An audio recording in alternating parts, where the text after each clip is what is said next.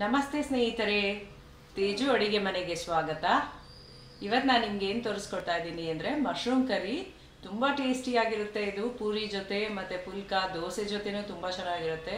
Different ಆಗಿರೋವಂಥ recipe ಜಾಸ್ತಿ ಏನು spices ಇರೋದಿಲ್ಲ. ಹಾಗಾಗಿ ಸಿಂಪಲ್ ಆಗಿರೋವಂಥ ರೆಸಿಪಿ ನಾನು ನಿಮಗೆ ಇವತ್ತು ತೋರಿಸ್ಕೊಡೋಣ ಅಂತ ಇದ್ದೀನಿ. ಬನ್ನಿ, ಹಾಗಾದರೆ ಅದ್ರ ಬೇಕಾಗಿರೋವಂಥ ಸಾಮಗ್ರಿಗಳನ್ನ ನೋಡೋಣ.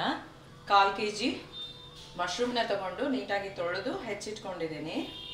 ಮತ್ತು ಬೆಣ್ಣೆ, ಒಂದು ಕ್ಯೂಬ್ನಷ್ಟು ಮಸಾಲಗಳು, ಗರಂ ಮಸಾಲ ಪೌಡರ್ ಅರ್ಧ ಟೀ ಚಮಚ red chilli powder one table ಚಮಚ, ಧನಿಯಾ ಪುಡಿ ಒನ್ ಟೇಬಲ್ ಚಮಚ, ಸ್ವಲ್ಪ ಅರಿಶಿನ ಮತ್ತು ಚಕ್ಕೆ ಲವಂಗ. ಒಂದು ದೊಡ್ಡ ಈರುಳ್ಳಿನ ಸಣ್ಣದಾಗಿ ಹೆಚ್ಚಿಟ್ಕೊಂಡಿದ್ದೀನಿ ಮತ್ತು ಒಂದು ದೊಡ್ಡ ಟೊಮೆಟೊ ಹೆಚ್ಚಿಟ್ಕೊಂಡಿದ್ದೀನಿ. ರುಚಿಗೆ ತಕ್ಕಷ್ಟು ಉಪ್ಪು ಮತ್ತು ಕೊತ್ತಂಬರಿ ಸೊಪ್ಪು. ಕಡಾಯಿನ ಇಟ್ಟು ಸ್ವಲ್ಪ ಎಣ್ಣೆ ಹಾಕೊಳ್ಳೋಣ. ಒಂದು ಎರಡು ಟೇಬಲ್ ಚಮಚ, ಮತ್ತು ಬಟರ್ ಆ್ಯಡ್ ಮಾಡ್ಕೊಳ್ಳೋಣ. ಬಟರ್ ಆ್ಯಡ್ ಮಾಡಿದ್ರೆ ಎಕ್ಸ್ಟ್ರಾಡಿನರಿ ಟೇಸ್ಟ್ ಕೊಡುತ್ತೆ. ಇವಾಗ ಚಕ್ಕೆ ಲವಂಗನ ಹಾಕೊಳ್ಳೋಣ. ಮೀಡಿಯಂ ಫ್ಲೇಮ್ನಲ್ಲಿ ಇಟ್ಕೊಳ್ಳಿ. ಫ್ಲೇಮ್ ಮಾತ್ರ ಈರುಳ್ಳಿನ ಹಾಕೊಳ್ಳೋಣ.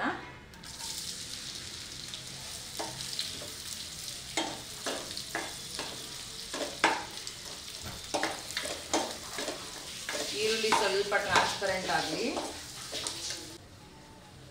ಈರುಳ್ಳಿ ಕುಕ್ ಆಗಿದೆ ಇದು. ಟೊಮೆಟೊ ಆ್ಯಡ್ ಮಾಡ್ಕೊಳ್ಳೋಣ.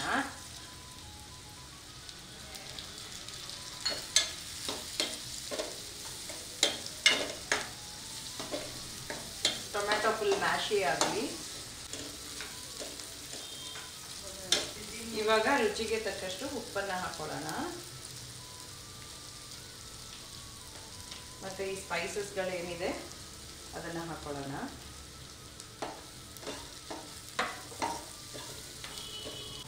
ಸ್ವಲ್ಪ ನೀರನ್ನು ಆ್ಯಡ್ ಮಾಡ್ಕೊಳ್ಳೋಣ.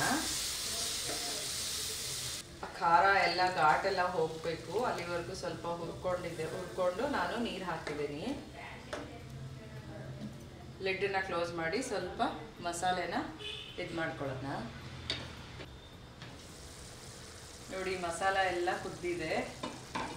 ಎಣ್ಣೆ ಎಲ್ಲ ಮೇಲ್ಗಡೆ ತೇಳ್ಕೊಂಡು ಬರ್ತಾ ಇದೆ. ಸೊ ಇದು ಮಸಾಲ ನೀಟಾಗಿ ಕುಕ್ ಆಗಿದೆ ಅಂತ ಅರ್ಥ. ಈ ಟೈಮಲ್ಲಿ ನಾವು ಮಶ್ರೂಮ್ನ ಆ್ಯಡ್ ಮಾಡ್ಕೊಳ್ಳೋಣ. ಮಶ್ರೂಮ್ ತುಂಬ ಸಾಫ್ಟ್ ಆಗಿರುತ್ತೆ. ಹಾಗಾಗಿ ನಾವು ಜಾಸ್ತಿ ಕುಕ್ ಮಾಡೋ ಅವಶ್ಯಕತೆ ಇರಲ್ಲ. ಎರಡೇ ಎರಡು ನಿಮಿಷ ಲಿಡ್ ಕ್ಲೋಸ್ ಮಾಡಿ ಕುಕ್ ಮಾಡಿಕೊಂಡ್ರೆ ಸಾಕು. ಇದ್ರ ಜೊತೆ ಪೂರಿ, ಪುಲ್ಕ ತುಂಬ ಚೆನ್ನಾಗಿ ಕಾಂಬಿನೇಷನ್ ಆಗುತ್ತೆ. ನಾನು ಇದ್ರ ಜೊತೆ ಪೂರಿ ಮಾಡ್ಕೋತಾ ಇದ್ದೀನಿ. ಆಗಿದೆ ಸ್ನೇಹಿತರೆ ಇದು. ನೀಟಾಗೆಲ್ಲ ಕುಕ್ ಆಗಿದೆ. ಇದಕ್ಕೆ ಲಾಸ್ಟಲ್ಲಿ ಕೊತ್ತಂಬರಿ ಸೊಪ್ಪನ್ನ ಆ್ಯಡ್ ಮಾಡ್ಕೊಳ್ಳೋಣ. ನಾನು ಇದಕ್ಕೆ ಬೆಳ್ಳುಳ್ಳಿ ಶುಂಠಿ ಪೇಸ್ಟ್ ಆ್ಯಡ್ ಮಾಡ್ತಾ ಇಲ್ಲ. ಎಲ್ಲದಕ್ಕೂ ಹಾಕಿದ್ರೆ ಚೆನ್ನಾಗಿರಲ್ಲ. ಇದು ಒಂಥರ ಬೇರೆ ಥರನೇ ಇದಾಗುತ್ತೆ. ನಿಮಗೆ ಬೇಕು ಅಂದರೆ ನೀವು ಆ್ಯಡ್ ಮಾಡ್ಕೋಬೋದು. ಸರ್ವಿಂಗ್ ಬೌಲ್ ಹಾಕೊಳ್ಳೋಣ. Okay friends mushroom curry is ready to eat ತುಂಬ ಚೆನ್ನಾಗಿರುತ್ತೆ ಇದು. ಸ್ಪೈಸಿಯಾಗಿರುತ್ತೆ ಒಮ್ಮೆ ಮಾಡಲೇಬೇಕಾದಂಥ ರೆಸಿಪಿ ಇದು. ನೀವು ಮನೇಲಿ ಟ್ರೈ ಮಾಡಿ ನೋಡಿ. ನಾನು ಮಾಡಿರೋ ರೆಸಿಪಿ ನಿಮಗೆ ಇಷ್ಟ ಆದರೆ ಲೈಕ್ ಮಾಡಿ ಕಮೆಂಟ್ ಮಾಡಿ, ಹಾಗೆ ಶೇರ್ ಮಾಡಿ ಸಬ್ಸ್ಕ್ರೈಬ್ ಆಗಿ ಬೆಲ್ ಐಕಾನ್ ಒತ್ತೋದನ್ನು ಮರಿಬೇಡಿ ಸ್ನೇಹಿತರೆ. Thank you